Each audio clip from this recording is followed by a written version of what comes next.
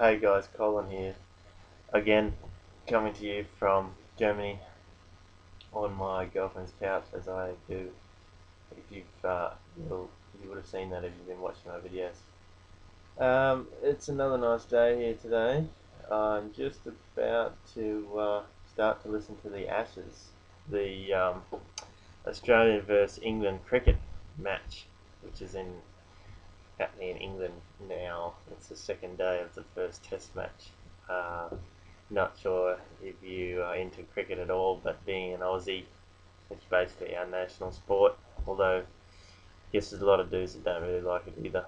But anyway, um, I just had a little message today because um, I've been doing a lot of training, heaps and heaps of training, and um, I listened to this guy on this uh, inner circle audio video. This audio, sorry, not video. And uh, his name is Vick Streuzheus. Well, I'm not sure how they, how you pronounce his name actually, but he's uh, English is his second language, but he is uh, internet marketing king. He's doing quite well for himself, and um, it's another case of I'm listening to guys that are doing a lot better than me, and um, I just uh, am learning from them. They're, they're my mentors through the internet as a the new age kind of mentor as it used to be used to uh, either ring up or um, talk face to face to your business mentors and stuff like that. But now with uh, with the internet and stuff like that, you can just he can get out to so many people and like he he probably doesn't know that I'm watching his message, but I am obviously. And he's uh, such a good speaker. It feels like you're just you're there in the room. You're just one on one with him. But um, yeah, he uh, he definitely had some good messages. And um,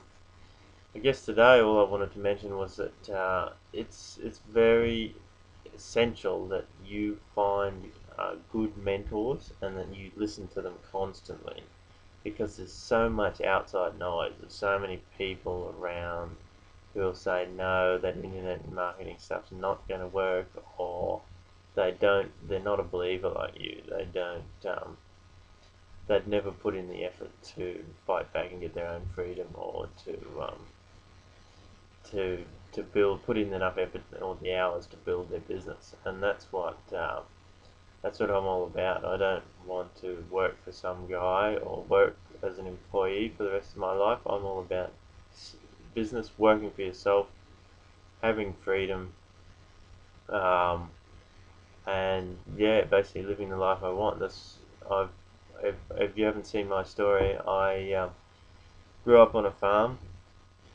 I uh, left the farm and um, after a lot of struggle uh, in a family business, and then once I took action and left the farm, I've uh, been traveling and uh, basically doing whatever I want for uh, the last three years or so.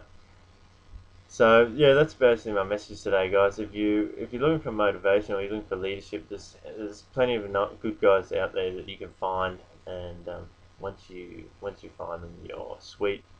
You've just got to put in the hours then and uh, really listen to those guys and really hang off every word that they say and yeah, Vick, I I hadn't listened to much of his stuff before, but he is really one of the top earners in internet marketing uh, throughout the whole business and um, throughout the whole industry.